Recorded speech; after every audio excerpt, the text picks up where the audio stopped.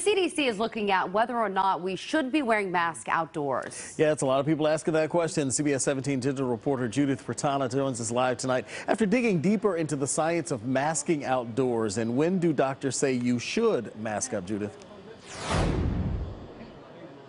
Well, doctors, doctors say it really depends on a number of factors. Right now, North Carolina does have a mask mandate for outdoor settings like football stadiums when you can't stay six feet apart from people. But COVID-19 is known to spread more quickly and more likely indoors. So I asked one of our local experts why we're still wearing a mask outside.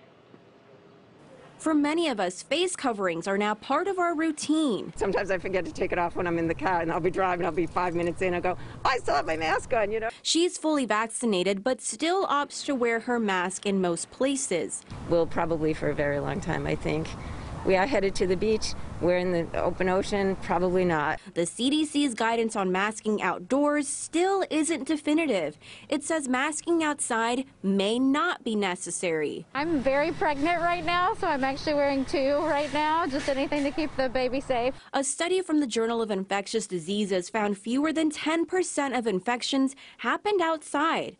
It also found you're almost 20 times more likely to be infected indoors than outdoors. If I'm socially distanced outside, I don't feel like I need them as much, um, especially if the CDC comes out with research that we don't need them. The CDC now considering whether masking is really necessary outside.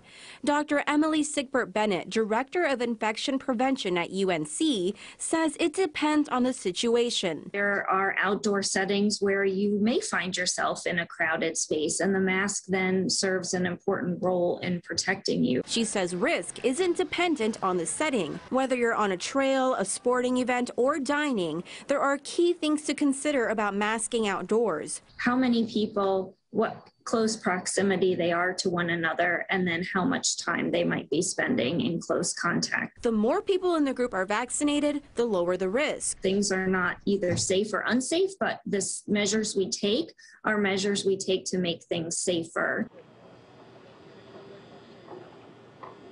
Dr. Sickbert-Bennett says you should always carry a mask with you no matter what to make sure you're prepared for whatever situation you find yourself in. Now, the CDC does have mask guidance for gathering indoors between vaccinated and unvaccinated people. I have a breakdown of that online in my story at CBS17.com.